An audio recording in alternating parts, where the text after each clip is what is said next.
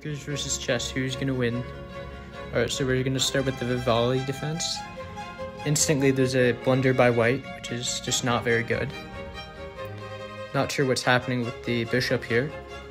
Oh, another blunder. Oh, ooh, that was that was a significantly good move. I think black might be winning now. Oh, oh, and the queen. The queen is killing everything.